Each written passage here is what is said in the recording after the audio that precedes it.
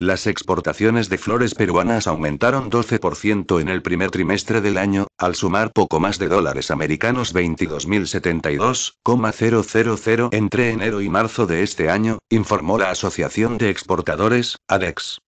La mayor cantidad de envíos tuvo como destino los Estados Unidos. Cifras del sistema de inteligencia comercial ADEX Data Trade señalaron que, en los últimos cinco años, tomando en cuenta solo el período enero-marzo, los despachos de flores peruanas lograron un comportamiento positivo pese a factores internos y externos que afectaron el sector. 8% en el 2019, 3% en el 2020, 21% en el 2021, 2% en el 2022 y 12% en el 2023.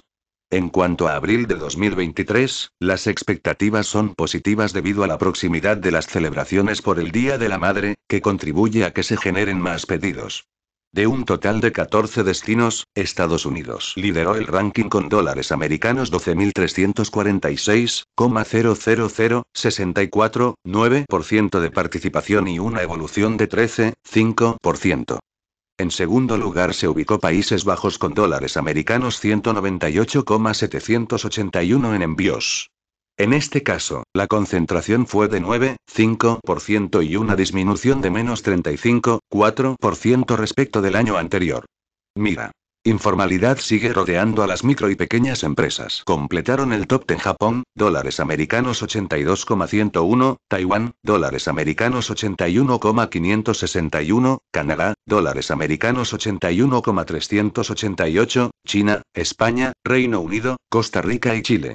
De este grupo, cerraron en rojo Canadá y Chile con menos 35% y menos 0,07%, respectivamente. Taiwán, por su parte, tuvo un incremento impresionante de 6.696,4%. La principal empresa exportadora en el primer trimestre del año fue Corporación Rhodes cuya representación fue de 61%. Otras fueron Incamos, Exoperú, Proplantas Group y Incas Berries. Se debe indicar que, en el Perú, las principales zonas productoras de flores se ubican en Junín, Ancash, Huánuco, Cajamarca, Lima, provincias, Ica, Cusco, Arequipa y San Martín. Vídeo recomendado.